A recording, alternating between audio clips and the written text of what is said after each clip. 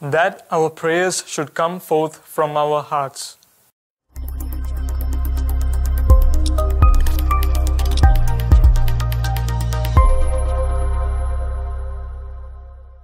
My dear brothers and sisters, in today's gospel we hear Jesus condemning hypocrisy of people. Today's gospel does not tell us to judge who a hypocrite is, but the gospel asks us, Are you a hypocrite?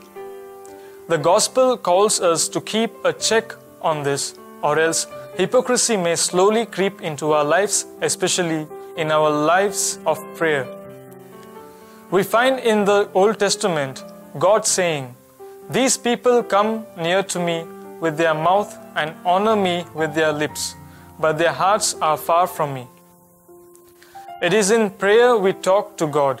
Prayer is a relationship between us and the divine, be it a personal prayer or community prayer.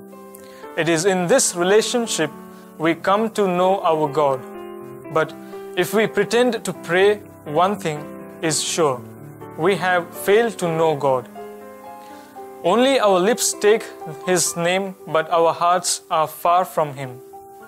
When Jesus says, When you pray, do not imitate the hypocrites, He means that our prayers should come forth from our hearts, as Prophet Joel says, Rend your hearts and not your garments, and return to the Lord your God. Sometimes, my dear brothers and sisters, when we pray, our prayers may hardly seem to be the language of heart. Bede Jarrett, the English Dominican, says that all adventure has gone, all personal touches and contemplation, if our prayer is not genuine. My dear brothers and sisters, let us not pray in order to please others, in order to gain worldly appraisals, for we are not of the world.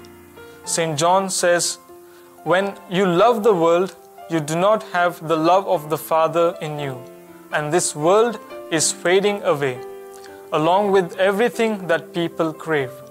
But anyone who does what pleases God will live forever.